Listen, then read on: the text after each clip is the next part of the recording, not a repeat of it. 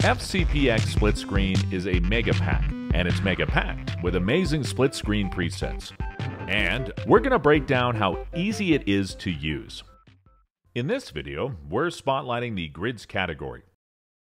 We'll use this preset, scrolling columns 7 by 7 as our first example. So many drop zones, 49 to be exact. We'll fill them in with placeholder media. Let's start from the top. We can select this checkbox to see the on-screen guides.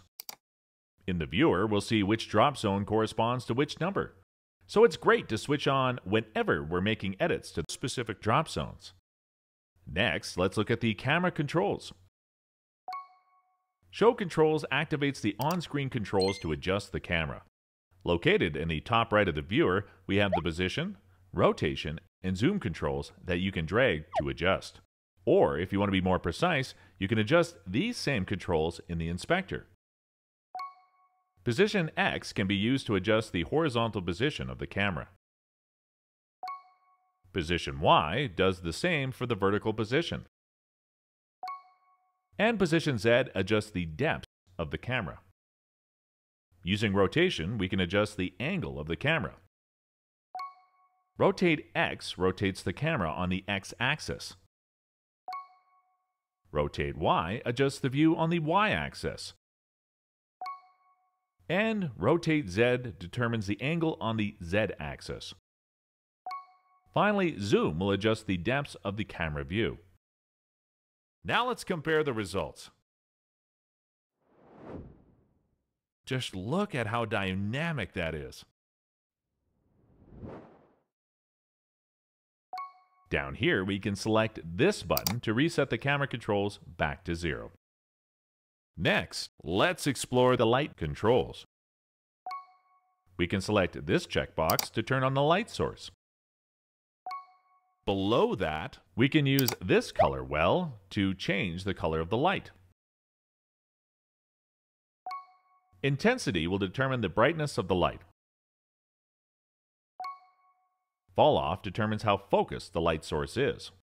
If we set it to the maximum, it looks like the light disappears, but we're about to fix that. Fall off start determines the point where the light will feather out. Now, we've focused our light on one point.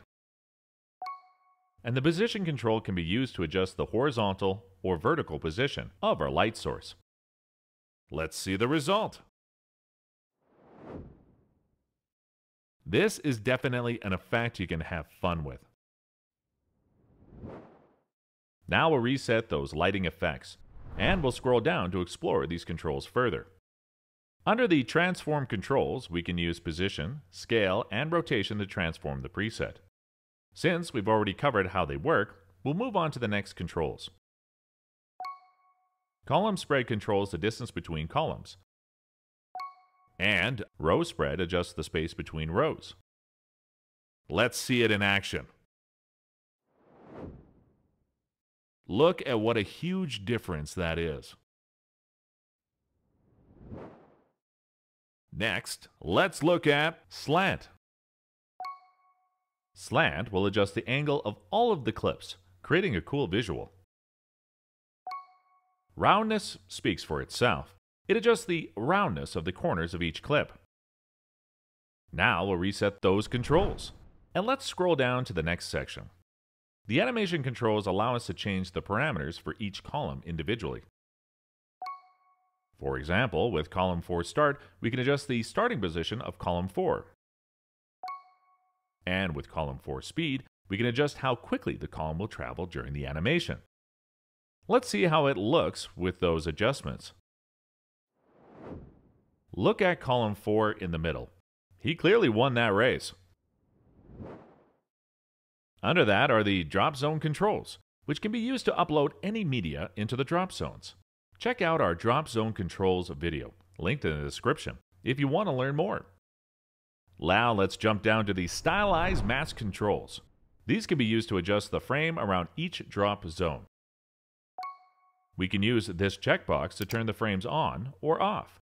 But you'll notice we can't see them yet because opacity and width are set to zero. Let's fix that. Opacity controls the visibility of the borders. We'll set it to the max. Next, let's increase the width. Width adjusts the thickness of the border. Big difference, right? And color can be used to change the color.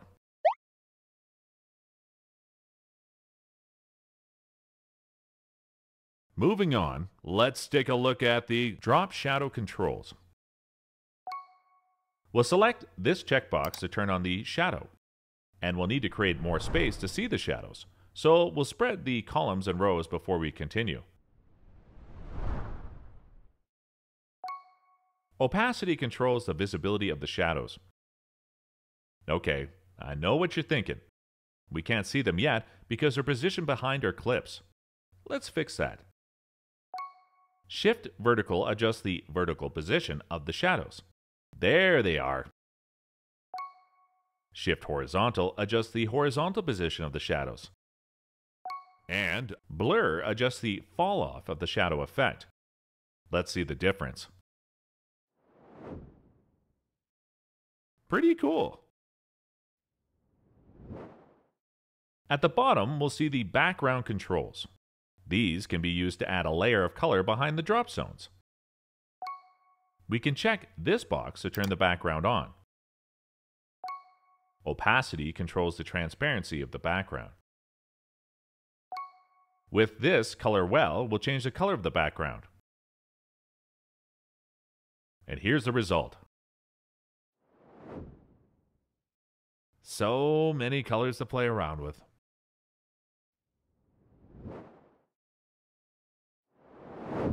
This plugin wasn't as intimidating as you thought, was it?